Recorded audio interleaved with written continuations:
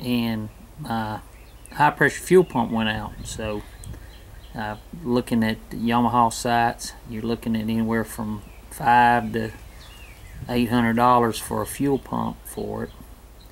So I'm looking at uh, uh, on the aftermarket sites, and I find a couple. Uh, one that came up a couple times was this Titan. Uh, and it fits several different models of the of the OX66 so but you can see the see the part number right there. It has the filters. I'll show you what's in the box here in just a minute but but we're going to replace this this this pump here. Uh, uh, this is about $70 through Bay Bay Area Sports for but you got your comes with the your filter.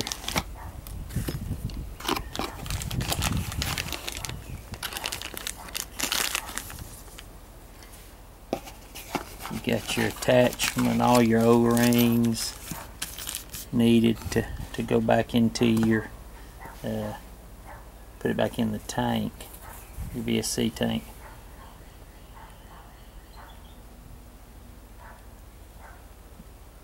but I'll show it assembled, show it all together, and then uh, I'll give a let you know how it how it uh, how it performs, if it lasts. But uh, I'll update it in about a month. Uh, if it if it makes it a month, uh, I'll let you know how it does. So anyway, that's that's what we're looking at. Appreciate you watching. Okay, I do want to show you a little something before I close this up.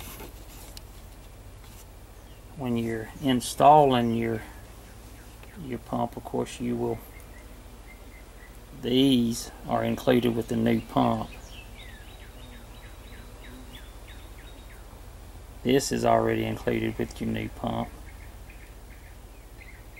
O-rings are already on it. Now this this nylon piece here is on the old is on the old pump.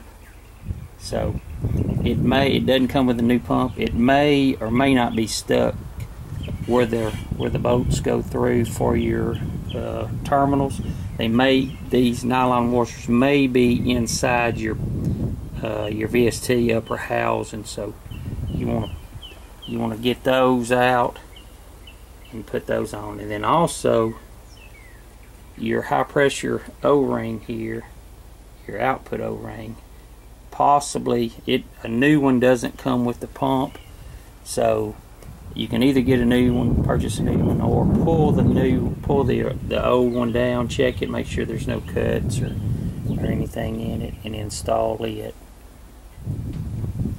So uh, it does come with your filter everything to install the filter. Your bracket here is already in place and then you'll install the lower one uh, above the fuel filter when you start to install that. So anyway, I just thought I'd let you know uh, what to look for there. And you look on a look on a parts diagram and you can see these parts uh, and, and where they go. anyway, thank you.